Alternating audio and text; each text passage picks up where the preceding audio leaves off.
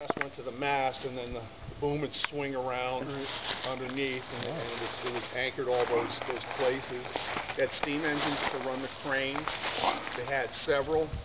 They had a couple of mobile cranes that they could take off into the woods. One of the things they did was I, I call it range forwarding, but they would find a ledge way off in the woods, you know, quarter mile or more away from like the main rail system, and they'd bring a wagon, steam drills, drill uh, two-inch holes with the steam drills.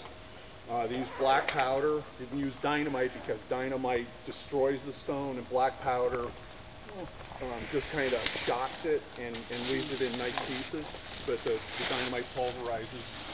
Um, this mound here, this is all gravel, sand and gravel. I dug a few places, but the, the name of the company was uh, Connecticut River Valley Granite and Mining Company.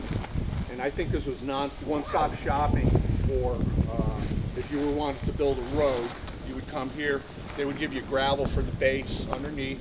You could screen it and get sand for uh, above uh, above the base. You know that you'd set the stone into. They they set the stone on edge, long way, and uh, pound it in, and you you had you know you had a, a deliverable road right out of here. The loaded schooners, the docks over there, and I forget. I think it was uh, 15,000 cubic yards of gravel left this this spot. A friend, math friend of mine, and I did the did the math to figure out how much was removed. And uh,